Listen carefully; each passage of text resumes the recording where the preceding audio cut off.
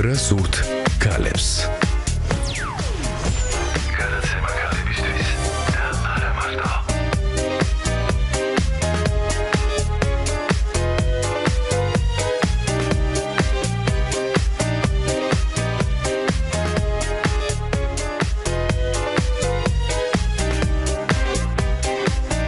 მოგესალმებით ყველას გისურვებ ძალიან ლამაზ და მშვენიერ დღეს მზიანი დღე გახლავთ. დღეს არის 20 ივლისი ახლა არის თბილისის დრო 11 საათი და 11 წუთი და როგორც ყოველ სამუშაო დღეს ზუსტად ამ დროს საზოგადოებრივი რადიო 1-ის პირდაპირ ეთერში ანუ FM 102-სა და 4-ზე დაიწყო გადაცემა რა სურთ ქალებს რომელსაც დღეს მე მარტო წარმოგიდგენთ მოგეხსენებათ კეთი აქ არ არის ახლა დავით ველიჯანაშვილი გახლავართ მიცანით ალბათ დიდი მადლობა თქვენ ყველას ვინც ახლა გვისმენთ და ვინც მოგვიანებით შემოგვიერთებით იმისათვის რომ მართლა ძალიან გულმოდგინეთ. გვიჭერთ მხარს, გვისმენთ ხართ ჩვენთან ერთად და ყოველთვის გამოთქვამთ თქვენს აზრს ჩვენს პირდაპირ ეთერში. არა მხოლოდ გამოთქვამთ, მე შეგახსენებთ კიდევ ბევრი საშუალება არის იმისათვის, რომ ჩვენ ვიყოთ ერთადერთ ტალღაზე. ეს არის თუნდაც სოციალური ქსელი Facebook-ში მოძებნეთ გვერდი, გადაცემის გვერდი რას ვთქვათ ქალებს ქართულად და მოიწონეთ და იქაც მოგწერეთ თქვენი აზრი, რათა ჩვენ გავითვალისწინოთ ყოველთვის ის თემები, რომლებიც თქვენ ყველაზე მეტად გაინტერესებთ და რომლებიც თქვენთვის უფრო მეტად პრიორიტეტულია და შესაბამისად ჩვენი გადაცემის მთავარ თემად ვაქციოთ ხოლმე. გარდა ამისა, ჩვენი ტელეფონის ნომრებია 240 91 92 ან 240 92 92. ეს ტელეფონები დაგჭირდებათ მას შემდეგ, რაც ჩვენი ინტერაქტივი დაიწყება. დღევანდელ თემას რამდენიმე წუთში გეტყვით თუ რაზეც ვის უნდა ვისაუბროთ და კიდევ ერთი, გარდა FM-ისა, FM ტალღებს გულისხმობ, თქვენ შეგიძლიათ გვისმინოთ და გვიყუროთ ვებ გვერდზე radio 1.g. ასევე მოისმინოთ არქივში ჩანაწერები გასული გადაცემების თუ რამე საინტერესო გამოგჩათ და გაინტერესებთ. კიდევ ერთხელ მოგესალმებით. ლამაზდამ შვენიერდამ 7 დღეს გისურვებთ და ახლა კი დღევანდელი თემის შესახებ, დღევანდელი გადაცემის შესახებ. მე ჩემი ამბის მოყოლით დავიწყებ დღევანდელი თემის წარდგენას. კიდევ ერთხელ მინდა აღვნიშნო თქვენ ყველამ ძალიან კარგად იცით და ყველას დიდი მადლობა, რადგანაც აგერ უკვე ორი კვირაზე მეტია, თითქმის სამი კვირაა პირდაპირ ეთერში რომ მირეკავთ პირველ რიგში სანამ თემაზე საუბარს იწყებთ, მე მილოცავთ ხოლმე იმას, რომ ორი შვილის მამა გავხდი. მადლობას გიხდით ამისთვის და ორი შვილის მამობასთან ერთად მე შევეჯახე, ისეთ ამბავს, უпростоრად მე ველოდი ამ ამბავს ზოგადად ჩემს თავს რომ გადახდებოდა, მაგრამ ველოდი გაცილებით მცირე ხარისხში და მოლოდინი შესაბამისად სხვანაირი მქონდა. თუმცა ასე არ ყოფილა როგორც მე ვფიქრობდი, ასე რომ საკუთარი ემპირიული გამოცდილება ყოველთვის ყველაზე კარგია ხოლმე ვიდრე თეორიული ცოდნა ამათოიმ საქმეში. ანუ რას გულისხმობ? როდესაც პირველი რამდენიმე დღის ეიფორიამ გადაიარა, რამდენიმე დღე ძალიან დიდი და მძაფრი ემოცია ემოციური ფონი ჰქონდა ჩემს პირველ შვილს, უფროს, რომელიც გახდა სულ ახლა ხანს 8 წლის და მეორე მოგეხსენებათ სამი კვირის არის ჯერ. მე სამე თუ მეოთხე დღეს ზუსტად აღარ მახსოვს, ისე სხვათა შორის სულ თავისთვის ისე რომ წესით თითქოს ვერც უნდა გამეგო, უფროსმა შვილმა ჩაილაპარაკა, რაც ჩემი და გაჩნდა, მას მე სულ მოწყენილი ვარო. ეს ფრაზა რომ გავიგე, აი როგორც მეხი და ეცემა ხოლმე ადამიანს, აი ესეთი რამ დამემართა, მივხვდი რომ გაცილებით მეტი იყო საფიქრალი ამ თემაზე, ვიდრე მე მქონდა მანამდე ნაფიქრი და ვიდრე ვაპირებდი მიმდინარე პროცესში ფიქრს კიდევ. მე რა თქმა უნდა ველოდი ამას და ბავშვების ერთმანეთზე ეჭვიანობა რა თქმა უნდა ძალიან მნიშვნელოვანი რამ არის ამაზე ბევრს წერენ ბევრს კითხულობენ რჩევებს იღებენ ფსიქოლოგებისგან და ასე შემდეგ და ასე შემდეგ თუმცა ჩემთვის მაინც მთავარი იყო არა აღმოჩენა ამის არამედ აღმოჩენა იმის რომ გაცილებით უფრო მეტად უნდა დაფიქრებულიყავი ამ საკითხზე. ასე რომ დღევანდელი ჩვენი გადაცემის თემა არის ბავშვების ეჭვიანობა შვილების ეჭვიანობა ერთმანეთზე. სხვადასხვა სოციალურ ქსელს გადავხედავ მე იქაც დასვი შეკითხვა და მე ვიღე რამდენიმე საინტერესო პასუხი სანამ ჩვენ სტუმარს წარვადგენ და იქ აღმოვაჩინე რომ მე ეს შეკითხვაც კი ჩემი გამოუცდელობით ალბათ არასწორად დამისვამს რადგანაც მე აქცენტი გავაკეთე და ყურადღება გავამახვილე იმაზე რომ უფროსი შვილები ეჩვენობენ უმცროსებზე. მაგრამ პირველივე კომენტარი რაც დამიწერეს რატომ დასვი ეს საკითხი მომითხეს პირიქითაც ძალიან ხშირად ხდებაო და ალბათ პირიქით კიდევ სხვანაირი მიდგომა სჭირდება ამ ყველაფერს. გადავხედოთ სოციალურ ქსელს. თქვენ ამასობაში მოიმარჯვეთ ტელეფონი. მე ვიცი რომ ჩვენს მსმენელთა შორის ძალიან ბევრნი ხართ, ვისაც შვილებიც გყავთ, შვილიშვილებიც გყავთ და ძალიან დიდი გამოცდილება გექნებათ თვითონაც ამ ყველაფრის და დაგვირეკეთ და გითხარით, როგორ იქცეოდით, როგორ იქცევით ამ დროს, რა მიგაჩნიათ ყველაზე არასწორად და რა მიგაჩნიათ მთავარ გასაკეთებლად, როდესაც შვილები ერთმანეთზე ეჭვიანობენ, რამდენად დიდ ყურადღებას უთმობთ და როგორ უთმობთ ამას ყურადღებას 240 91 92 240 92 92 ახლა გადავხედოთ სოციალურ ქსელს. სოციალური მედია უკვე აღნიშნე რომ თავარი იყო ის რომ შეკითხვის არასწორად დასმის გამო შენიშნა მე ვიღე ანუ ბავშვების ეჭვიანობა რა თქმა უნდა პირიქითაც შეიძლება უმცროსმა იეჭვიანოს უფროსზე რა თქმა უნდა. შემდეგ ძალიან ბევრი პასუხი იყო რა თქმა უნდა ის ძალიან ცნობილი და ისეთი თეორიული ცოდნაც კი რაც მე ისედაც ვიცოდი რომ რა თქმა უნდა ყურადღება უნდა მიეყოლდეს უნდა მოუმატოთ პირიქით მის მიმართ ყურადღებას უნდა დაასაქმოთ და აღზრდის და განათლების პროცესში ჩართოთ ეს ყველაფერი ის ზედაპირული რჩევები არის და ამ ყველაფერს რა თქმა უნდა მიმოვიხილავთ ჩვენ სტუმართან ერთად და ძალიან ბევრი იყო კომენტარი იმის შესახებ რომ ეს არის ძალიან ჩვეულებრივი და ნორმალური მოვლენა და ამაზე რა თქმა უნდა არ უნდა ვინერვიულოთ ასე ვთქვათ უბრალოდ ყურადღება. მისაქცევი არის იყო ასეთი კომენტარიც რომ შეეცადეთ რომ პატარას ნაკლები ყურადღება მიაქციოთ ან საერთოდ არ მიაქციოთ ყურადღება მისი თანდაცრებით უფრო თანდაცრებით თუ რაც მე უკვე ეთერში შემოსვლამდე გავარკვევი რომ არც თუ ისე კარგი რჩევა ყოფილა რა თქმა უნდა და ძალიან ბევრი ასეთი ზოგადი პასუხის შემდეგ მე კიდე უფრო მეტად გადავწყვიტე რომ საჭირო იყო ამ თემაზე სპეციალისტთან საუბარი. თუმცა მსმენელი უკვე ხაზზე რადგან ჩვენი ინტერაქტივი დაიწყო მოდი მე მას არ დავაცნევინებ მივესალმები და შემდეგ უკვე წარვადგენ ჩვენს დღევანდელ სტუმარს. გამარჯობა მოგესალმებით გამარჯობა დავით გამარჯობა. როგორც ყოველთვის სასიამოვნოა თქვენი გადაცემის მოსმენა. მადლობა აა ყავს სამი შვილი და ხუთი შვილი შვილი. დიახ. მე თვითონ დედის ერთა ვარ. და აი ეს პრობლემა არასოდეს არ მქონია, მაგრამ შვილებთან დაკავშირებითაც და შვილიშვილებთან დაკავშირებითაც ვგრძნობ, რომ უფროსი შვილი თითქმის ყოველთვის ყველა ოჯახში იჩაგრება. ელახება უფლებები. უფროს? შენ უფროსი ხარ? დიახ. და უნდა მოუთმინო. ხო, ანუ მეტი მოგეთხოვება. როგორც მე ვიცი, ეს ერთ-ერთი შეცდომა არის კიდევ და ამას ჩვენ სტუმართან ერთად გავარკვევთ. და აი ამასთან ერთად მასწავლებელიც ვარ და გამოცდილება მაქვს საკმაოდ დიდი. ამიტომ ვთვლი რომ ეს ძალიან დიდი შეცდომაა. დიახ. დიდი მადლობა რომ დაგვირეკეთ. ვკითხავთ ჩვენ სტუმარს. ახლა კი მოდი წარვადგენ ჩვენ, დიახ. კიდევ გქონდათ რამე სათქმელი უკაცრავად? დიდი მადლობა რომ დაგვირეკეთ. 240 91 92 240 92 92 დღეს ჩვენი სტუმარი გახლავთ ბავშვთა ფსიქოლოგი ილიაუნის ასოცირებული პროფესორი ნატა მეფარიშვილი. ნატა მოგესალმებით. გამარჯობა. დიდი მადლობა მოგბრძანებისთვის როგორ ბრძანდებით მადლობა რომ დამპატიჟეთ. თქვენ სპეციალისტებს ბრძანდებით ამის რომ მეგულისხმო პროფესიულად და ასევე ემპირიული გამოცდილებაც საკმარისად გაგაჩნიათ ასე რომ ძალიან საინტერესო იქნება თქვენთან საუბარი. და ჩვენი კიდევ ერთი სტუმარი რაღა შორს წავიდე მეთქი ვიფიქრე როგორ ხდება ხოლმე ჩვენი კოლეგა და მეგობარი არაჩვე ჩვეულებრივი ნიჭიერი ადამიანი, მარკეტინგის ჯგუფის პროექტების მენეჯერი ნათია ხოშტარია შემომიერთა. რამდენიმე გამარჯობა ნათია. რამდენიმე ისტორიაც გვექნება ამ შობლებისა, რომლებიც უშუალოდ ამ პრობლემასთან ბრძოლაში, ასე ვთქვათ, არ მინდა ისეთ რაღაცა ძალიან ხაზგასმულად ისეთი მზაფრი სიტყვები თქვა, მაგრამ ყოველ შემთხვევაში ამას აკეთებენ და ისინი ჩაგურთებიან ტელეფონით, მაგრამ ნათიაც რა თქმა უნდა თავისი ისტორიით მოვიდა, რომ მინდა რამდენად მე მახსოვს, როგორც დავიწყე ამ თემაზე ფიქრი, მაშინ ტელეფონში შეხვდა ნათია და პირველი რაც გამახსენდა, მაშინ რომ დაახლოებით ჩვენ ერთ სიტუაციაში ვართ, პატარა სხვაობა, კი, ძალიან ხშირად უზიარებთ ხოლმე. და მანათიაც თავისი ისტორიებით, რა თქმა უნდა, ჩვენს გვერდით იქნება დიდი მადლობა ნათია კიდევ ერთხელ რომ შემოგვერდით. ნატა, მე პირველი რაც უნდა გკითხოთ, ძალიან ბევრი მიმართულებით შეიძლება ამაზე საუბარი, მაგრამ ზოგადად რომ ავიღოთ, შეიძლება თუ არა, წვილმა, თუნდაც რომელიც გეგმავს ოჯახს რაღაცნაირად გაითვალისწინოს სხვაობა შვილებს შორის აქვს თუ არა ამას მნიშვნელობა თუ ნებისმიერ ასაკში უბრალოდ სხვადასხვანაირად გამოიხატება. ანუ შემიძლია მე ვიფიქრე როგორც მომავალმა მშობელმა ვთქვათ რომ იცი რა მოდი ერთი წელი ცუდია სხვაობა ეჭვენობის მოდი სამ წელს გავაკეთებ მოდი ხუთ წელს ან ასე შემდეგ. თუ არა აქვს ამას მნიშვნელობა და ყველა ეტაპზე ერთი წელი იქნება 2 5 თუ 6 სხვაობა ყველა ეტაპზე უბრალოდ სხვადასხვანაირად გამოხატულია ეს ეჭვენობა და ეს. და კითხვა მეც მაინტერესებს. მენი ერთი კითხვა მართალია გეთანხმებით იმაში რომ შეიძლება იმაზე ფიქრი თუ როგორ დავგეგმოთ ოჯახი, მაგრამ ამ დაგეგმვისას წინასწარ ვერ დავგეგმოთ რამდენ წლიანი სხვაობა არ გამოიწვევს უფროსისგან გამომდინარე ეჭვიანობას, იმიტომ იმიტომ რომ ნებისმიერ შემთხვევაში ასაკის მიუხედავად ბავშვები ეჭვიანობენ და მათი განვითარებიდან გამომდინარე ქცევები და ემოციები გამოიხატება სხვანაირად, რაც თქვენ აღნიშნეთ, ხო? ერთადერთი შეიძლება ვიგულისხმოთ, რომ თუ 15 ან 20 წლიანი სხვაობაა, მას მაშინ ალბათ ნაკლები იქნება პრობლემა.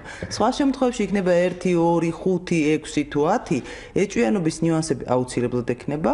ოღონდ ცხადია, რომ 1 და 2 წლის ასაკის სხვაობის შემთხვევაში შეიძლება ალბათობა აგრესიული ქცევის ან სიბრაზის არაადეკვატურად გამოხატვის იყოს უფრო მაღალი და როდესაც მოზრდილია ბავშვი შეიძლება გამოხატოს თავისი სიბრაზე ან შფოთვა იმასთან დაკავშირებით, რომ ცენტრალური ადგილი დაკარგა ოჯახში, სხვანაირად, მხოლოდ სიტყვიერად.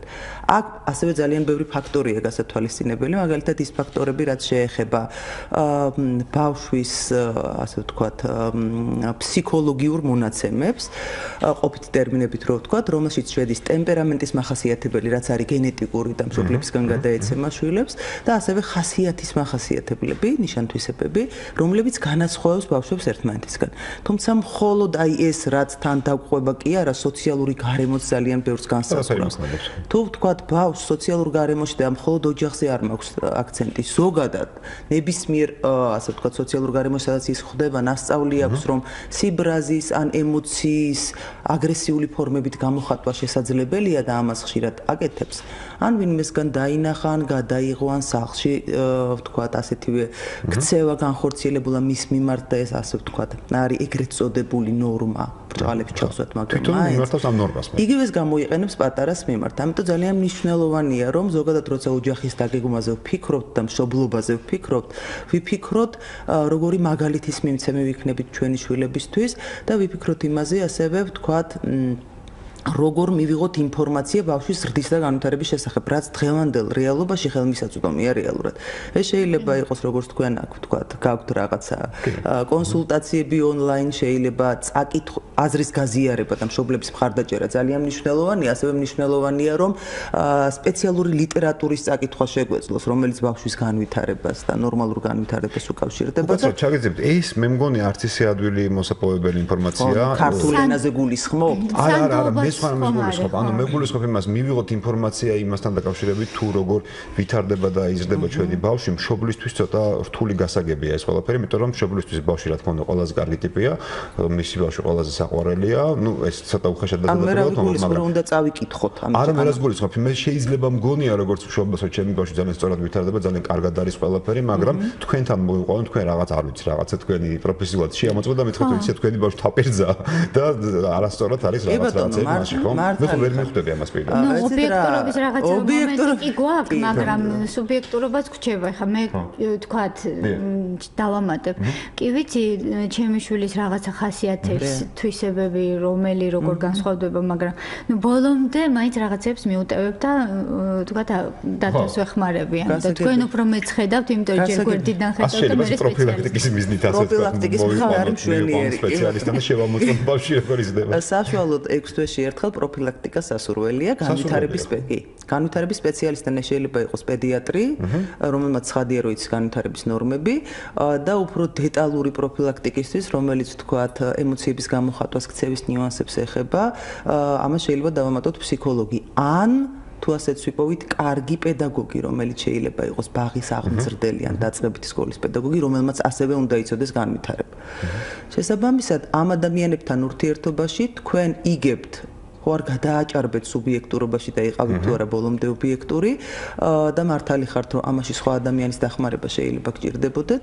ასევე თქვენ იგებთ საკუთარი სუბიექტურობის შესახებ გარშემოყოფი ადამიანებისგან რომლებიც შეიძლება გაფართოებული ოჯახის წევრები იყვნენ ან შეიძლება თქვენი მეგობრები იყვნენ რომლებიც მიგითითებენ რომ ეხა ზედმეტი მოგდის ან ზედმეტად კაცრი ხარ ან ზედმეტად ლოიალური და ამას უნდა უსმინოთ და ყოველთვის კრიტიკული უნდა იყოს საკუთარი აღზრდის ნორმების მიმართ იმიტომ რომ და მეთოდების მიმართ იმიტომ რომ რომ ეს ასე ვთქვათ, იცულება ყველაფერი გამომდინარე ვთქვათ დროის დროიდან, რომ სხვადასხვა სტანდარტები შემოდის, ყოფა იცულება და ასე შემდეგ. თუმცა ჩვენზე მაინც ახდენს გავლენას აღზრდა, რომელიც ბავშვობაში გადავიტანეთ, ასე ვთქვათ და რაღაც კონკრეტული სტანდარტები ჩვენეული მოგწონდა ეს თუ არა, მაინც გვაქვს. ამიტომ ძალიან მნიშვნელოვანია, რომ ეს გადავამოწმოთ და გადავამოწმოთ ნაკლებად მიკერძებულ ანუ ნაკლებად სუბიექტურ ადამიანთან, რომელსაც სპეციალისტი ქვია. მინდა გითხრათ, რომ ეს დიალოგი იქნება სპეციალისტთან თუ იქნება ჩემს კოლეგასთან თუ იქნება სხვა მშობელთან ძალიან მხარდამჭერი და დამხმარეა და პარალელურად კარგია თუ კითხულობთ განვითარებაზე და ნახულობთ თქვათ რა ასაკში რა ნორმებია თქვენ შვილთან მიმართებაში მნიშვნელოვანი და რა შეიძლება იყოს ის რასაც ყურადღება უნდა მიექციოთ ყველაფერი ერთად იწევს შედეგს. რა თქმა უნდა ძალიან დამაფიქრა ამან იმიტომ რომ არ მიფიქრია სიმართლე გითხრათ ამაზე. ანუ ესე პროფილაქტიკის მიზნით გადამოწმებაზე იმიტომ რომ თუ მართლა პირდაპირ ხედავენ რა პრობლემას მხოლოდ მაშინ მიდიან ხოლმე რაღაც ნიშნები თუ აშკარად გამოხატული რა აგრესიის ან აუტიზმის ან რაღაცაში. მხოლოდ მხოლოდ მაშინ მიმართავენ ხოლმე და ისე ჩვეულებრივადაც ფიზიკურად ჯანმრთელი ადამიანი ხო ვიტარებთ ხოლმე წელიწადში ორჯერ თქვა პროფილაქტიკის მიზნით რაღაც გამოკლებს ალბათ დაახლოებით ამ კატეგორიაში უნდა განვიხილოთ ესეც ხო? მე ერთ სიტყვას ვიტყვი ანუ შეიძლება რომ თქვა აუცილებელი რო გითხრათ რომ ეხლა ძახილის ნიშნით აუცილებელია მოგატყურეთ მაგრამ სასურველი აუცილებლობა. იმიტომ რომ აი ეს განვითარება ამ ყოველ 6 თვეში ნუ სამი ძალიან ახლო პერიოდი იქნება თუ პრობლემა არ აქვს ბავშვს განვითარებას ყოველ 6 თვეში რაღაცა ახალი ნიუანსი ემატება და ბავშვების განვითარება ძალიან ინდივიდუალურია. შეიძლება აღმოჩნდეს რომ რატომღაც რომელიღაც եղած Բերուցո տախնիտ չամուրջա ეს ავტომატურად ნორმალურ სოციალურ გარემოში რეგულირდება და ისევ ეწევა თავის ნორმას, მაგრამ თუ გვინდა რომ ვთქვათ, ვიცოდეთ, უფრო მეტი ვიცოდეთ და რამე არ გამოგრჩეს, სასურველი ელემენტარულად სათამაშოების შესახებ რომ მიიღოთ ინფორმაცია რა ასაკში რომელი სათამაშოთი უნდა ითამაშოთ თქვენ შვილთან და ეს ინფორმაცია თუ ონლაინ ან რაიმე სახელმწიფოში ვერ ნახეთ, სპეციალისტთან შეიძლება ამაზე გასაუბრება, იმიტომ რომ ამას ძალიან დიდი მნიშვნელობა აქვს და რეალურად თამაში და სათამაშოები განვითარებაში უმნიშვნელოვანეს როლს თამაშობს. ნულიდან 6 წლამდე. ამიტომ ეს პერიოდი აი ამ ინფორმაციით დაინტერესებული მშობელი აუცილებლად უნდა იყოს. სპეციალური გოლდება ხაზზე და შემდეგ გათიასთან ერთად შეკითხვა გამარჯობა მოგესალმებით. იგივე და გამარჯობა. გურიდან და то პილოტსა გეტუმესა. გმადლობთ. ბატონო ჯებალ თქვენი ხმა გვესმის წვეთით და ვერ ვიგებთ. ახლა გვესმის. ხო, ახლა რამინდა გითხრათ, იცით, მე დაწყებითი კლასების მასწავლებელი ვარ პროფესიიდან, მე დაამთავრე თეატრალური ინსტიტუტი და ძველ ახსოვს, ახსოვს ბავშვთან მუშაობდი მილიციაში და ჩემი უფროსი ვაჟი 65 წელია დაბადებული, მეორე უფროსი ვაჟი 67 და თუბები 79 წელში და რო ბავშვი კონფლიქტი არ მოწოდა რიგებს გავანაწილე ერთი ტყუპიზე მხარი შენია მეორე ტყუპის სალი შენია და წინდა არაფერი არ მემიკლია ყურადღება ბავშვებისთვის უფროსებისთვის და პატარებთან ძალიან მეგობრულად იყო და აგრესიები არ ქონდა და ყველა ძალიან დადებოდნენ და ყველა რჩეული პიროვნება საზოგადოების რა არის იმ შემდგომ უნდა აუხსნას რომ ის პატარა ყურადღება უნდა შენ ძალიან მიყვარხარ ხო და ესეთი პრობლემა გავა. თული ამბავია ოჯახში როგორა დაყენებული წესები უმცროსული მე დასაცველი ერთის გამონაცვალეს მეორე ის. კი. კი გონდა კი ასე ვთქვი ისე ვწყვეტით გვესმის თქვენი ხმა ბატონ ანჯემა ძალიან დიახ, დიახ, მიხვდით რა სამ და ეს კითხვა ცალკე მქონდა, მინდა გითხრათ და კითხავთ ჩვენ სტუმარსაც აუცილებლად, მას წავაწყდი მეც რაღაც ტანსაცმელზე ან სათამაშოზე არ აქვს მნიშვნელობა, როცა მისი ნაკონია მაინც შენახულია რაღაცები ყველაფერი ხო არა და რაღაცნაირად მაინც არ ვიცი რამდენად საჭიროა, მაგრამ ნებართვის აგება, ასე ვთქვათ, შენი ეს ყოფილი ტანსაცმელი შენი. კი, კი, აუცილებელია. შეიძლება რომ ჩვენ უკვე გვაქვს პრობლემა და და ზუსტად ეს რა. კარგი, დაიხნათიას ვკითხავ, მაშინ მე გადაცემა დავიწყე დღეს კონკრეტული შემთხვევა შემთხვევის მოყოლით კი რაღაცებს ატყობ, რაღაცებს გრძნობ, რაღაცებს აკვირდებ, მაგრამ რაღაც წერტილები არსებობს, რაც ასე პირდაპირ ხდება ხოლმე თავში რაღაცა წერტილი იყო ჩემთვის, როცა რაღაც ფრაზა თქვა მან და ძალიან მომდინელად მოხდა. მე კიდე რაღაც წერტილი იყო, რაღაც ქცევა მისი ასე. აი ეს რამდენიმე ესეთი ემოციური რა გახსენდება, აი თავიდანვე როცა ბავშვი პატარა იყო, შენ ცოტა დიდი არის პატარა სკოლის, პატარა დიდია უფრო შეიძლება. ჩვენ თქვა გორწლიანი შუალეთი, ბავშვებს ზუსტად 2 წელი და 2 თვე და ჩვენ დავიწყეთ შემზადება, იმიტომ რომ ძალიან კარგი პედიატრი ყავს და გამოცდილება აქვს დიდი სოფასულავა, რომელიც გვეუბნებოდა როგორ უნდა მოქცეულიყავით, რომ ახალი ციცოცხლე ჩდება ოჯახში ახალი წევრი, იმიტომ რომ ჩვენო მე და ჩემი მეუღლე ორივე დედის ერთა ვართ, რა ვიცი, ვერ გძნობთ ეგოისტობას, მაგრამ რაღაცა მაინც არ გვინდოდა რომ დედის ერთა ბავშვი გაგვეზარდა და ორი შვილი მაინც გვინდოდა თუ მეტი არა ვთქვა და შევატყვეთ უკვე სალომეს რომ რაღაც ასაკ ასაკში უკვე ხდებოდა, ანუ ყველაფრის ბატონ პატრონი მიჩგვაზე უნდა, კი, წელიწად ნახევრის იყო, მაგრამ მაინც და რაღაცა თან ისე დაემთხვა, რომ მეორე ბავშვიც გვიჩდებოდა და დავიწყეთ შეგუება, რომ ეხა გაგიჩდება, დაიკო ან ძამიკო ეთამაშები მარტო აღარ იქნები სახში და ელოდებოდა და ესე დადგებოდა ხოლმე ჩემ წინ და ბაი ადროზე გამოხტიებებოდა, ანუ უნდა და ელოდებოდა თამაშს. ელოდებოდა, მაგრამ ზუსტად მეორე დღეს, როდესაც გამოვედით სამშობიაროდან, დიდი პრობლემა გაჩნდა, რომ აღარ მოუნდა ეს მტირალა ვიღაცა და კარგია ვეთამაშე უკვე და წავიყვანოთ უკან, აღარ არის საჭირო მეტიო. და მე მოგვიხდა ეს შეგუების პროცესი ქონდა ძალიან ხანგრძლივი, რომ აი სალომეს დაიკო გაჩდა და რა ლამაზი ბავშვია სალომეს დაიკო, არა ესე ვესაუბრებოდით და ვინც მოდიოდა სტომარს, იმასაც ვთხოვდით, რომ ჯერ პირველად უფროს მიაქცია ყურადღება და მე მეორეს თქვა თუ საჩუქრით მოდიოდნენ, ჯერ საჩუქე და აი ამ ამ დონეზეც კი მუშაობდით, რომ ეს პრობლემა არ ყოფილიყო, იმიტომ რომ მე როგორც აღმოჩნდა, ორივე ლიდერი არის, ორივე ბავშვი, ხასიათით ლიდერია და უნდა ისე იყოს, როგორც მას უნდა. ეს პრობლემაა? დღემდე პრობლემაა კი რაღაცა, მაგრამ დათმობის მომენტს ვასწავლით. ძალიან დიდი მნიშვნელობა აქვს პირად მაგალითსაც. ანუ მეც მეშლება ხა მიყვირია კიდევაც და არ არსებობს იდეა, ნუ აი ძალიან თითზე ჩამოსაცვლელი მშობელი იქნება, რომელსაც ხმა არ ამაღლოს და არ შეეშალოს პედა აღდის პროცესში რაღაცა და მე რო ხვდები სალომეს საქციელი როგორ გადადის მისი დისაქციაზე, ანუ ჩემი კოპირება ხდება. რაც არ არის კი აბსოლუტურად. ამიტომ მე არ წავიკითხე კიდევაც და არ მცხვენია და არ მეზარება უთხრა რომ დედა მე შემეშალა, შენ რო ესე მოგეკეცი. მართალი ხარ. დედებსაც მოსდის შეცდომები, იმიტომ რომ ჩვენ ყველაფერი არ ვიცით, რო გიყვირე არასამართლიანად მოვეკეცი, იმიტომ რომ შეიძლება და ეს შვიდათ მე თქვა, მიუხედავად იმისა, რომ ნუ ეს ხდება, როდესაც განმეორებითი რაღაცა ესეთი წუწუნის ტიპის მოთხოვნა არის და რო ვერაგდებინებ, რომ არა დედა და ნუ ეს მე გადადის ამაზეც, რომ როდესაც თქვა ნერვებს უშლის რაღაცა, განსხვავდებიან ტემპერამენტით, საქციელით, იმას სხვა რაღაცა უნდა, თქვა რაღაცა მელოდიას აიკვიატებს არასწორად ღერის ამას ეს თulis როსმენა უკეთესია გუსტორებს, იმას არ უნდა ესე და აი ესეთი დონის კონფლიქტებია.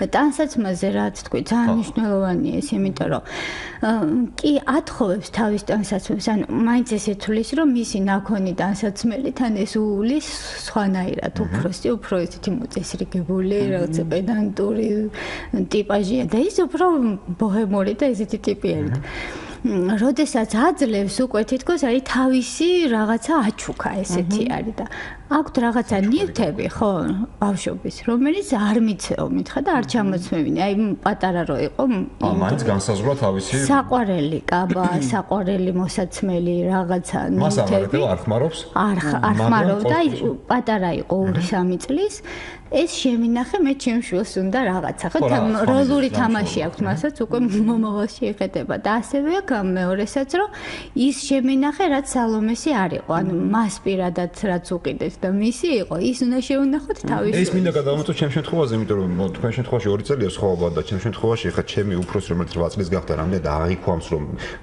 ის რომ ერთი ან ორი წლის იყო რაღაცები რაც ასე თუ ისე შემოგრჩა ასევე მნიშვნელოვანი იქნება, ვითომ ის შეიძლება ნაკლებად მნიშვნელოვანი იყოს და შეიძლება უფრო კარგად გააცნობიეროს, იმიტომ რომ უკვე პატარა აისტანსაცმელი და ვერ ჩაედება. მე შემთხვევაში რაოდენობის და ზომის ცნება მათი ასაკიდან გამომდინარე ჯერ ჩამოყალიბებული არ იყო.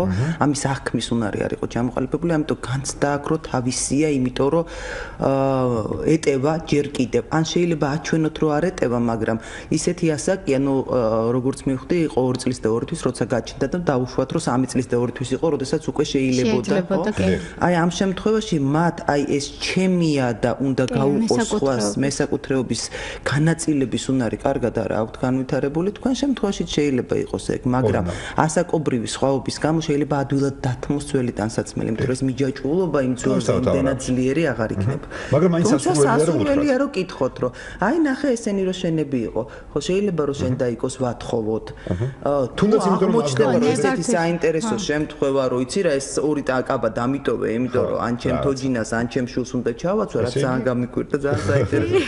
ხო ეს ბებია მისის განმოდის რომ იმან უთხრა რომ ხო რომ აი მე ვერ შევინახეო ნათიასთვისო და შენ და რაღაცა ის მოწონთ ეს რომ ვიღაცას ხო თავის მომავალ შულს უნდა ხარ მაგრამ ჩემ შემთხვევაში სასურველი უბრალოდ მას გაუჩნდება რაღაცა დადებითი შეგრძნება რომ მან აჩუქა თავისი რა მაგრამ ჩემი ჩემი შვილის შემთხვევას გეტყვით ჩემს მეორე მყავს ხუთი ხდება ერთი და სამის წელიწადი და 8 თვეა განსხვავება. გოგონები არიან და მიუხედავად იმისა რომ ვუთანხმებდი კი როგორ არა მივცეთო თაკოსო იტყოდა და როგორც კი თაკო ჩაიცმევდა მიდიოდა და ეუბნებოდა ე კაბა იცი ჩემი იყო. აი ეს უბრალოდ ხო ეს ეს აქვს რაზეც თაკოს რეაქცია ქონდა გამხადეთ ეს ნინის არის და ნუ მე ამის გაშველება მიდიოდა რომ იცი რა უკვე გაჩუქა და დაკვამბობდა და არა მე ჩემი კაბა მინდა არ მინდა ნინის და მე ნინის უთხარ თუ ჩუქნი მე ამაზე საუბარი ჩუქების უმცროსი საკმაოდ პრინციპულია. ნუ ამბობს რომ ეს რახან იმის არის არ მინდა მაგისი რახან ესე დამაყვედრა და ახლობით ეგეთი ჩუქების მომენტი ხო ბოლომდე გაცნობიერებული არა აქვს რა არის? აი ეს ჩუქება და თხოვება ეშლება და ცნებები ახლოს არის. კი გაჩუქა მაგრამ ის თulis როცა მოუნდა მისი ის მაინც მისი საკუთრება ეს სათამაშოებთან დაკავშირებით ეს არის ძალიან მნიშვნელოვანი იმიტომ რომ სათამაშო არის ის ნივთი ერთი რაც ჩვენთვის შეიძლება იყოს აგარაკი, მანქანა, რა ვიცი. ზუსტად იგივე ღირებულება აქვს ბავშვისთვის სათამაშოს და როგორ მარტივადაც ჩვენ შეიძლება გააჩნია ესე პირო, როგორ მარტივადაც შეიძლება არ მივცეთ ვიღაცა ჩვენი აგარაკი, სახლი და მანქანა, ასევე უჭირს მას იმ თოჯინის ან იმ კუბიკის მიცემა სხვისთვის და თხოვება და ჩუქება ნამდვილად ძალიან ძნელი სადიფერენციაციოა, ასაკს გააჩნია. ამიტომ გონია რომ თუ აჩუქა ესე უკან დაებრუნებს მისია და ეს მისია და მორჩა. აი ეს მე განცდა ჩემია, ყველაფერი ჩემს გარშემო ტრიალებს, რასაც ეგოცენტრიზმი ქვია და რაც განვითარებაში ძალიან მნიშვნელოვანია. ცხადია, რომ სიცოცხლის ბოლომდე გაყვება ადამიანს, მაგრამ სოციალიზაციის პროცესში ნელ-ნელა იხვეწება და ითლება, რაც ნიშნავს, რომ მე მე მე კი არა ვარ ბოლომდე. მე რა ხვდები, რომ სხვებიც არიან. და ეს სხვები შეიძლება იყონ და-ძმა, რა ვიცი, დეიდაშვილი, მამიდაშვილი, მეგობრები და ასე შემდეგ. ან არ დაიხვეწოს და ბოლომდე მე მე მე დავრჩე, რაც მე შესაძლოა ხელს მიშლიდეს რაღაცეებში. სუსტად არ ვიცი. ნუ არა ვარაუდებს ვამბობ. რა თქმა უნდა. და გავაგრძელოთ საუბარი და ამ შემთხვევაში მე მინდა არ ვიცი ესე თუ შეიძლება პრიორიტეტების მიხედვით ჩამოწეროთ რომელი უფრო მთავარია და ნაკლებ მთავარი მე მგონი ყველაზე მთავარი მაინც გამოდის როცა ამ თემაზე ვსაუბრობ და ვფიქრობთ როგორც თქვენ უკვე აღნიშნეთ თვითონ ბავშვის ფსიქოპორტრეტი და მისი ტემპერამენტი და შემდეგ ყველაზე მთავარი და განსაზღვრელი ალბათ ეს არის. მაგრამ ამის შემდეგ არის თუ ამაზე უფრო მნიშვნელოვანია სქესი ბავშვებს შორის მინდა კითხოთ როცა თუ ვსაუბრობთ ორ გოგოზე ან უმცროს ბიჭსა და უფროს გოგოზე ან უფროს ბიჭსა და უმცროს გოგოზე. თუ ამას საერთოდ მნიშვნელობა არ აქვს და აქაც მთავარი მაინც ბავშვის ხასიათი და ტემპერამენტია. დასაწყის საწყის ეტაპზე სანამ პატარაა მეორე ახალდაბადებული ცხადია რომ ამას დიდი მნიშვნელობა არ აქვს. როგორც კი სათამაშოების გაყოფაზე მიდგება საქმე, აქ უკვე უფრო მარტივად არის. იმ შემთხვევაში საქმე როდესაც სხვადასხვა სქესია. თუ ერთი სქესია ბავშვი, სათამაშოებიც ერთნაირი მოსწონთ, ან საცმელის მოსწადე რომ რაღაცებს შეიძლება ჩავაცვა ვთქვათ ჩვენს მეორის ბიჭის, მაგრამ თუ ყველაფერს არ გამოდის და თან ინტერესები სხვადასხვა შეიძლება კონდეს. თუმცა გავლე ხო ოღონდ პატარა პატარას აქვს მიდრეკილება უნდოდესის რაც აქვს უფროს. აი და აი ზუსტად ის უნდოდეს რაც უფროს. იმით ითამაშოს რაც უფროს. მიმბაძელობა როცა იწყება. მიმბაძელობა და ადრე იწყება. ნუ ახლა როგორ არიან პატარები უფროსების დაქვემდებარების ქვეშ და როგორ არიან მათთვის უფროსი დაძმა იდეალები რაღაც რაღაცა დროის განმავლობაში და რომ ამას ძალიან დიდი მნიშვნელობა აქვს.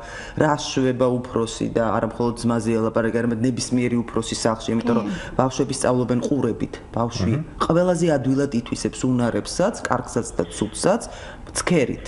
ეს არის სწავლების საუკეთესო ფორმა. და ყოველთვის ძალიან ფრთხილად უნდა ვიყოთ იმასთან დაკავშირებით, რაც თქვენ თქვით, რას რას ვაკეთებთ, როგორ ვიქცევით, როგორ გამოვხატავთ სიბრაზეს, როგორი კომუნიკაცია გვაქვს ოჯახის სხვა წევრთან, იმიტომ რომ კოპირება მიდის აბსოლუტურად იდენტური და მე ეს სწრაფად ვლინდება სხვაგან. სხვადასხვა სქესის ამბავი გადავმოწმოთ ერთი პატარა ისტორიით. საზოგადოებისთვის ნაცნობ ადამიანთან საზოგადოებრივი კომუნიკაციების მართვის სპეციალისტი არჩილ გამზარდია პირდაპირ ეთერში ახალზე არჩილ მოგესალმები გამარჯობა.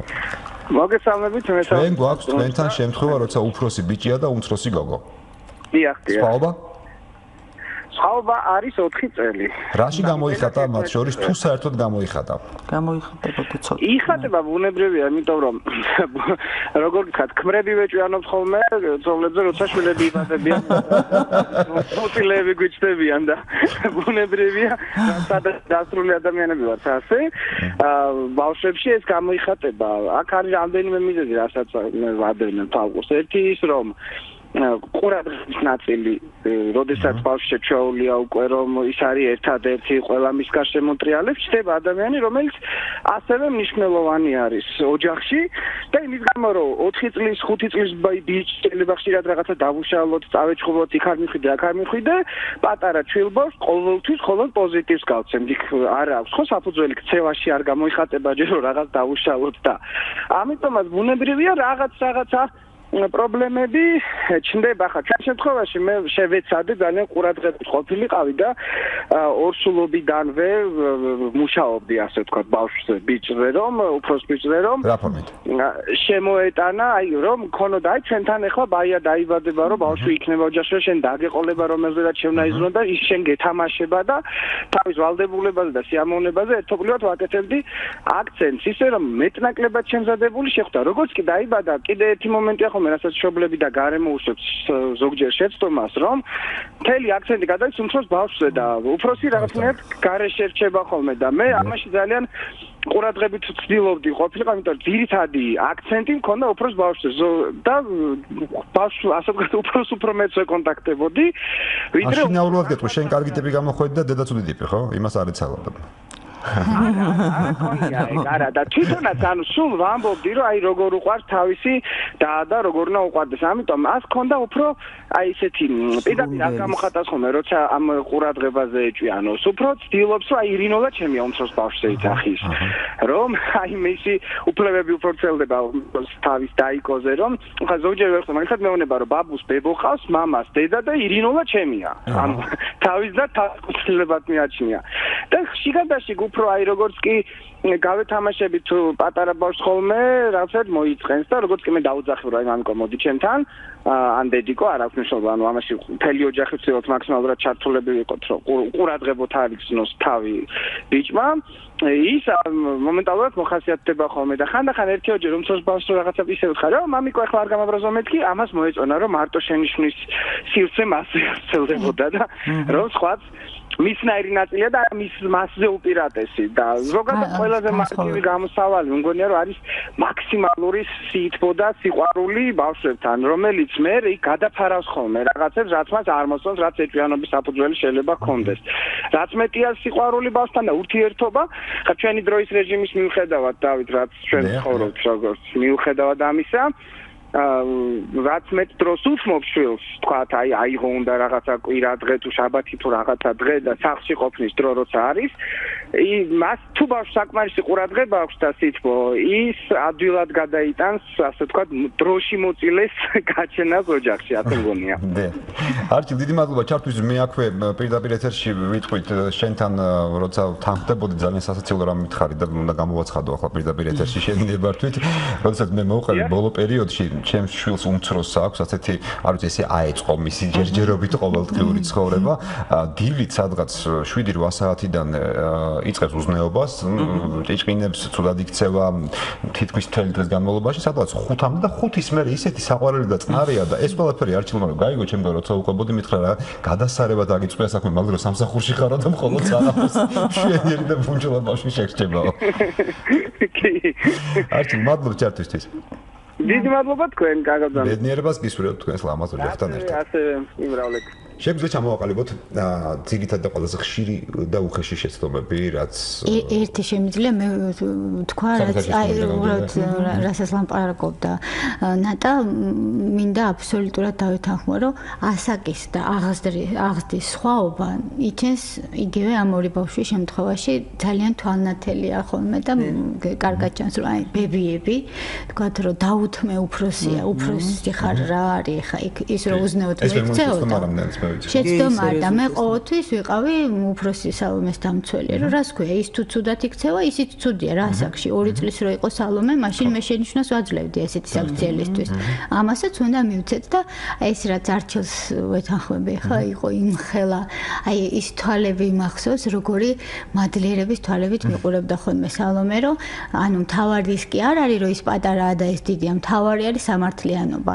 და მისთვის ეს მნიშვნელოვანია სალომეს. უფრო მეტად ვიდრე სხვა დროს გააკეთებდა, ანუ უკვე უკვე ელის იმ ხარდაჭერას რაღაცას, რომელიც მას ამ ბრძოლაში ჭირდება. ყოველთვის ელის, ყოველთვის ელის, იმიტომ რომ მიუხედავად ამისა, რომ ჩვენ აი რაც არჩევმა თქვა, სიყვარული და დაკვირვება უნდა, ანუ მისი ხასიათი არის მნიშვნელოვანი და გადამწყვეტი. მიუხედავად ამისა, რომ ჩვენ ამდენი რაღაცა ვაკეთეთ, მე და რატიმ მაინც სალომეს რაღაცა პერიოდი ქონდა თავისი თავის უკან დაწევისკენ მიდრეკილება, ანუ რომ აი მარიამი უფრო საყვარელია იძახდა, რას ამბობ დედა შენც ძალიან არა, მე ისეთი საყვარელი არა ვარ, რაღაცა მორცხობა დაეწყო ეს 5 წლის ასაკისკენ უფრო, იმიტომ რომ ბაღში არის არა და არ მოწონდა, ანუ ესეც პროტესტის ფორმა იყო, ღამეტირო და ხოლმე და მე შემეცოდა და აღარ დამყავდა და უნდოდა რომ ბებიასთან სახში ყოფილიყო, მაშინ როცა მარიც იქ იყო, ანუ ეს მომენტი ქონდა. სკოლაში რო წავედით, ყველაფერი შეიცვალა. ანუ იმან უკვე იპოვა თავისი სამყარო. თუ მშობელი მოახერხებს, რომ ბავშვებს მიცეს თავისი სამყარო, რაღაცა თავისი არე, სადაც ის იმოძრავებს, გაცილებით მშვიდად იქნება ყველაფერი და გაცილებით მარტივი იქნება და ჩვენ შემთხვევაში ეს რთული იყო, იმიტომ რომ არ წავიდა ბაღში, ანუ და ანუ მე სახში არ ვიყავი და აი ამ მონიტორინგს ვერ ვერ ვახდენდი დედაჩემსა და ბავშვებს შორის, რომ სამართლიანობა რამდენად იყო და დაცული. რამდენიმე გამოიკვეთა, მაგრამ მოდი მათ ჩამოვაყალიბოთ, იმიტომ რომ ჩვენ კი რაღაც რაღაცებს თითქოს ვიცით, მაგრამ აი ჩვენს ყოველდღიურ ცხოვრებაში ხან წამოგხვდება რაღაცა, ხან რაღაც კი იმ წუთში მიხვდებით, რომ შეცდომა დაუშვით, მაგრამ მაინც გონებაში რომ კარგად გაჯდეს, ასე ვთქვათ, ერთი რეკომენდაციები გვინდა რა შვები, ხო? ერთი ვთქვათ იგივე მოლოდინში, ხო? ეხა ეს შენ გაგიჩნდება მოთამაშე, რომელიც შენს გვერდით დაგიდგება, ვერ დაუდგება მოთამაშე. მოლოდინის შემთხვევაში ცოტა ჩვენ ყოველთვის გონია, რომ უნდა შევალამაზოთ ის რეალობა, რაც ეილის რეალურად ბავშვს ხო? ამიტომ ჯობს რომ ვუთხრათ რეალურად რას დაინახავს, როდესაც პატარა შემოვა სახლში. ანუ ჯობს რომ ვუთხრათ რომ ეს პატარა იქნება იმდენად პატარა რომ მას არ შეიძლება ჭამის ტირილის გარდა და კიდე რაღაც რაღაცების გარდა სხვა რამე.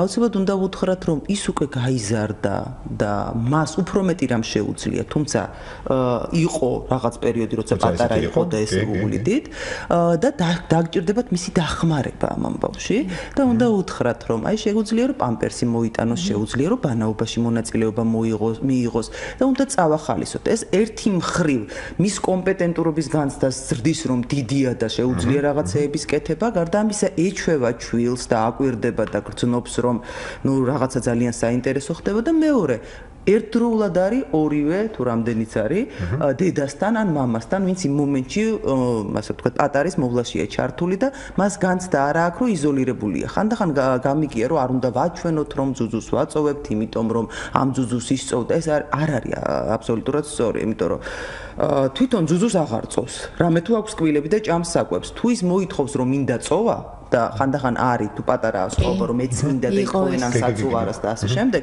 ვეუბნებით რომ იცი რა გასაგებია რომ გინდა მაგრამ მე მგონი შენ უკვე აღარ გჭირდება.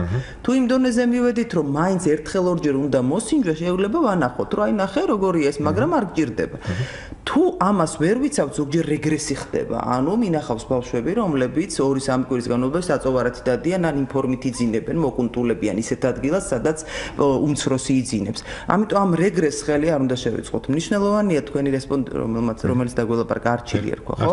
არჩილის ნათქვამიდან ძალიან მნიშვნელოვანია ერთი ფრაზა, რომელიც ყველა რეკომენდაციას და ყველა წაკითხულ რაღაცას ჯობს, ეს არის გამოვნახოთ დრო ჩვენი შვილებისთვის ამ ნორმირებულ და გეგმირებულ რეჟიმში რამენაირად. საღამოობით იქნება თუ შაბათ-კვირას, როცა გავცემთ მაქსიმალურ სიფოს და ვეთამაშებით და გვაქვს მათთან კომუნიკაცია, ოღონდ შელამაზების გარეშე რო ვთქვათ, არ უნდა ვუთხრათ, რომ მხოლოდ შენი ვარ, ის მეორე არ არსებობს ის იცი რა გძიძას მივცემ ან ბებოს მივცემ და მე შენთან ვქნები არა.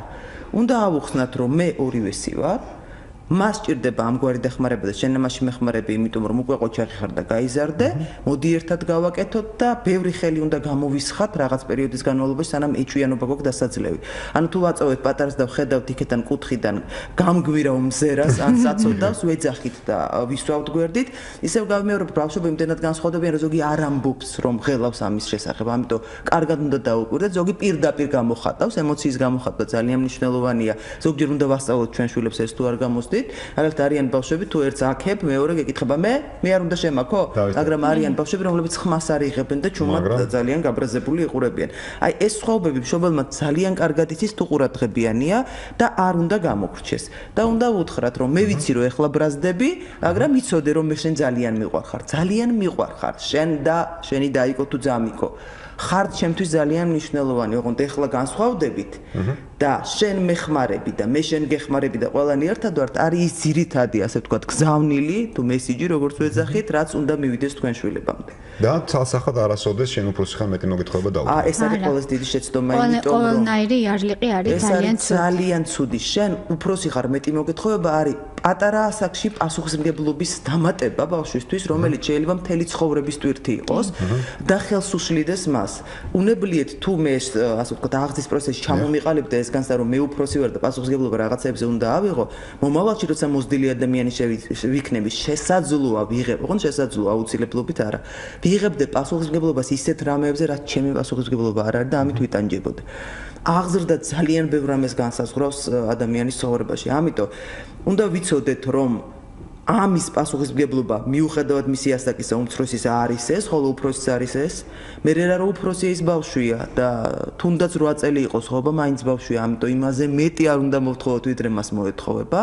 და შენ უფროსი ხარ და ესე არ შეიძლება და ის ხო პატარა არის ყველაზე მცდარი ფრაზა, რასაც მშობლები ვიყენებთ ახსნაში. იგივე აი ყველას ეყოლებოდა ესეთი მეზობელი, მე რატომ მეშინოდა ამ იარლიყის, რომ უფროსი ხარ და აი შენ მოუარე და რაღაცა. კი, რაღაცა მსუბუქდონოზე არის ხოლმე მომიტანეს და იმის დროს, მაგრამ ჩემ მეზობლები რამდენიმე აი სქესის განსხვავება ძმა რო იყო უმცროსი ან უფროსი, არც ამას არ ქონდა მნიშვნელობა და იზრდებოდა უფროსი განსაკუთრებით იმ მიზნით დედის მხრიდან შთაგონებული, რომ უნდა მთელი ცხოვრება ესდია ბრჭყალებში ვამბობ ძმისთვის.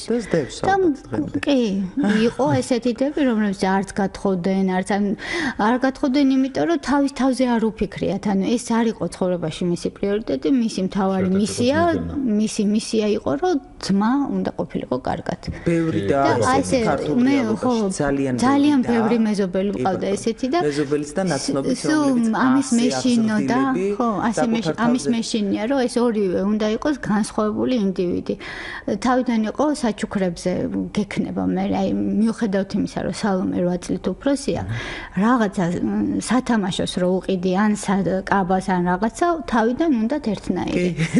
რაღაცა რაღაცა დონემდე ერთნაირი ყიდულობი მაგრამ მე მივხვდი რომ ეს მათ ინდივიდუალობას თრგუნავდა. ყველაფერი ვარდისფერი ყველაფერი ანუ მე სულ ამას ვებძოდი. ჩემი მითი რომ დედა არ არის გემოვნებიანი ვარდისფერიზე და როგაცია ქვედა ფეხზე ვარდისფერი მეთქი. ფერები შერჩევა არის აი შენ რო ხატავე ვნებოდი ხო სხვადასხვა ფერს იყენებ. მოდი ესე ჩავიცვა ცალომესთან ამაზე ვიბძო იგივე ვიბძოდი ხოლმე რომ ამას ეს უყიროთ იმას ის რომ როგორი ხასიათიც აქვს მოდი ხასიათით შეურჩიოთ სათამაშო და არა ორი რაღაცა ერთნაირი თოჯინა ვთქვათ გაამართლა მან. თავიდან მტკივნეული იყო, იმიტომ რომ ერთმანეთის რაღაცები თამაშობდნენ, მაგრამ მე მიეჩვენ, რომ უი, ეს ის არის, რაც მე მაინტერესებს. უი, ეს მე უფრო მომწონს და უკვე ეს გადახარშეს, ესე ვთქვათ. ჩვენი გადაცემის ბოლო კითხვა მე მაინტერესებს, ცოტა აი რაღაცნაირად გამოვიკვლიო, თუ შევძლებთ რეალობა, რამდენად დიდი ყურადღება ექცევა ამ ყველაფერს ჩვენ საზოგადოებაში, ანუ რას გულისხმობთ თქვენს პრაქტიკაში? აა თქვენს საქმიანობაში ყოველდღიურში ესე რომ გადავავლოთ თვალი. რატომაც ეჭვი მაქვს რომ უფრო მეტად და ძალიან ბევრად მეტად უფრო მოგმართავენ ხოლმე სხვა პრობლემებით ბავშვების ან უფრო მოზარდობისკენ როცა პრობლემები აქვს თან რაღაცა. რამდენად ხშირია ამ თემაზე საუბარი? რამდენად მოდიან შობლები და გეკითხებიან ჭუას ამაზე? ან მოყავთ ბავშვი და ვაი მე ამას ვერაფერი ვერ უშველეთ, აგრესიული ან რაღაცა შვება და საშინელ ეჭვიანობს. თუ არც ისე. ბოლოს ამი 4 წლის განმავლობაში მოიმატა ამ გვარმა მომართვებმა, მაგრამ მინდა გითხრათ რომ რეფერირება ანუ ჩემთან გამოგზავნა ხდება პედიატრების მიერ, რომლებიც თავის თავად რაღაც თემატიკასთან დაკავშირებით დაკავშირებით ესაუბრებიან. და თუ აქცენტს აკეთებენ ამ გასაუბრებისას მშობლები იმის თაობაზე, რომ ეჭვიანობა ხო არ არის საფრთხე, მაშინ ხდება გადმომისამართება ჩემთან და მე მიდის კონსულტაცია ჩემთან, ამიტომ ესეც განსაზღვრავს მომართვას, ანუ კარგად დაწყობილი სისტემა, სადაც ასე ვთქვათ, ყველა რგოლი კარგად ფუნქციონირებს, ну შესაბამისად უფრო ეფექტურია. არ გამოვრიცხავ იმ შემთხვევებსაც, როდესაც მშობლები სოციალურ ქსელში თუ კომუნიკაციის სხვა დონეზე ერთმანეთსგან იგებენ ამის მნიშვნელობას და პირდაპირ მოდიან. ნამდვილად ძალიან მომატებულია კონსულტაცია ამ საკითხებთან დაკავშირებით, როგორიც არის უმცროსის გაჩენასთან დაკავშირებული ეჭვიანობა და როგორ გაუმკლავდეთ და ვთქვათ, განვითარების ნორმის შემთხვევაში როგორ ვიყოთ კარგი მშობლები, რასაც პოზიტიურ მშობლობას ვეძახით და ბევრი ტრენინგი და ჯგუფი და ასე შემდეგ ტარდება, მათ შორის ილიას უნივერსიტეტშიც არის დაგეგმილი ესეთი პოზიტიური მშობლობის ტრენინგი სექტემბრიდან და თამაშებთან და სათამაშოებთან დაკავშირებული, ასე ვთქვათ, აქტივობების შესახებ კონსულტირება. ნამდვილად ვერ ვიტყოდი ამას 10 წლის წინ რო ესე იყო. ეხა ნამდვილად არის მომატებული. ძალიან დიდი მადლობა სტუმრობისთვის კიდევ ერთხელ საინტერესო საუბრისთვის. მე ხვალის გადაცემის თემას ძალიან მოკლედ დავაანონსებ, მაინც ჩვენ სტუმრებთანაც გადავამოწმე ყვავილები თუ გიყვართ, ყვავილები ზოგადად. ძალიან. შენც გიყვარს?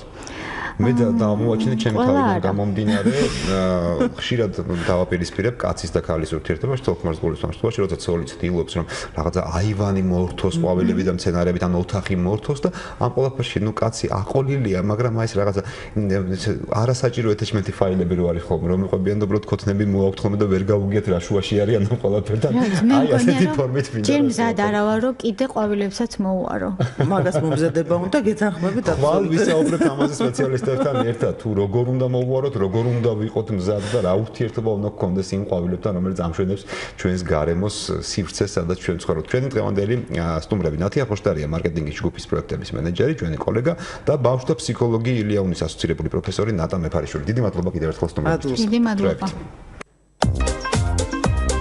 ყოველდღიური გასართობი ინტერაქტიული გადაცემა კალებზე და არა მარტო. რასურთ კალებს.